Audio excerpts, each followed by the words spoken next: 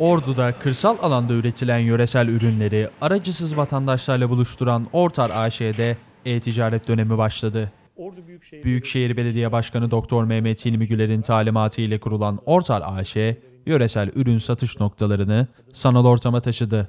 Ordu'da yetiştirilen 50'ye yakın ürün, kurulan sanal satış mağazaları ile alıcılara ulaştırılıyor. E-ticaret sitesi kurduk. orduorganik.com ya da orduorganikpazar.com üzerinden bu e-ticaret sitemize ulaşabiliyorsunuz. Ee, E-ticaretimizde e, birçok e, ürün kategorisi yer almakta ve e, aynı zamanda bu sitemizle bağlantılı olarak da e, sanal mağazalarda e, online mağazalar açtık. E, örneğin bir sanal mağazaya girdiğiniz zaman, ünlü bir sanal mağazaya bir e, kişiye hediye çikolata göndereceksiniz. E, üzerine şu şu e, kişiden sevgilerle yazdığınız takdirde o notu da ekleyerek biz e, Ardahan'dan Kıbrıs'a kadar o kişiye o çikolatayı hediye olarak gönderebiliyoruz. Online olarak sistemimize düşüyor.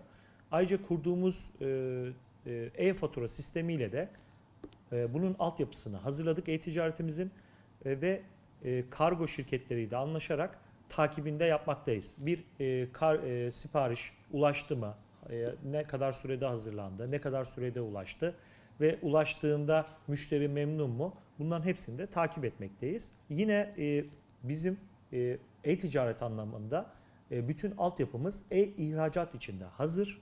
E, fakat burada kargo maliyetleri yüksek olduğu için orada kargo maliyetlerinin düşmesi beklenmekte ama yine bayilik istendiği takdirde yine tüm Türkiye'de e-ticaret altyapımız bayi ticaret anlamında e, yine hazır.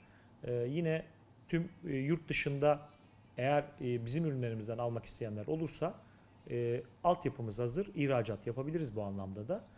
E-ticaret üzerinden e, ordaorganik.com ya da ordaorganikpazar.com üzerinden alışveriş yapan tüm tüketiciler 3 ya da 5 gün içinde ürünlerine, ellerine ulaşmış oluyor.